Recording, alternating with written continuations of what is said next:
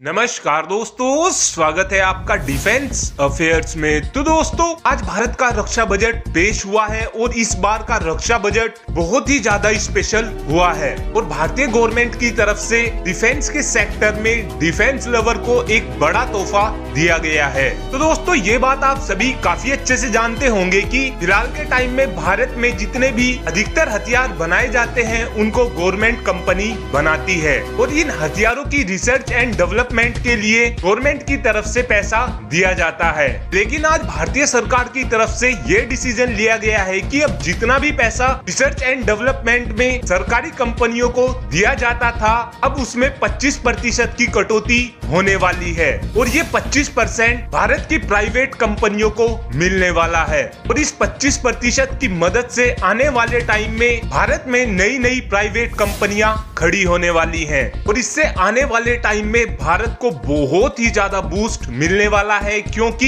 ये बात आप सभी काफ़ी अच्छे से जानते होंगे कि अमेरिका में जितने भी बड़े बड़े और घातक हथियार बनाए जाते हैं, उन्हें अमेरिका की बोइंग और लोकिट मार्टिन बनाती है। और ये दोनों भी प्राइवेट कंपनी है, और अब भारत की तरफ़ से ये डिसीज़न लिया गया है कि हम भारत में ही लोकिट मार्टिन और बोइंग जैसी कंपनियों को खड़ा करेंगे, जिससे आने वाले टाइम में भारत की नई नई प्राइवेट कंपनियाँ तेज़ी से हथियार बना सकेंगी। और दोस्तों, ये बात आप सभी काफ़ी अच्छे से जानते हैं कि भारत अपनी जरूरतों के अधिकतर हथियारों को विदेशी कंपनियों से खरीदता है। और अब भारत की तरफ़ से ये डिसीज़न लिया गया है कि जितने भी हथियार अब हम विदेशी कंपनियों से खरीदेंगे, उन हथियारों में करीब अड़सठ प्रतिशत सामान भारतीय लगा होगा। यानी कि अगर अब भारत एक हज़ार करोड़ रुपए के किसी भी देश से हथियार लेगा तो उस उसका 680 करोड़ रुपया भारत की कंपनियों को मिलने वाला है, क्योंकि अब विदेशी कंपनियों को भारतीय कंपनियों के साथ मिलकर हथियार बनाने होंगे।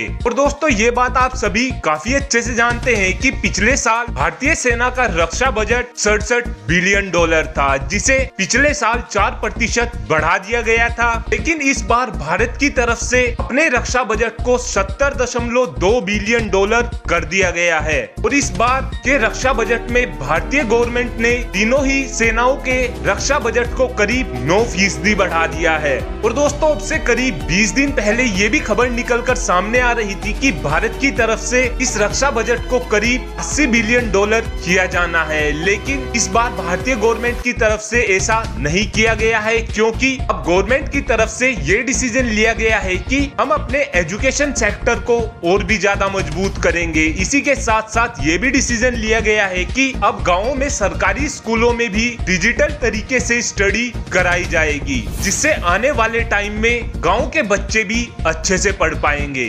Thanks for watching this video have a good day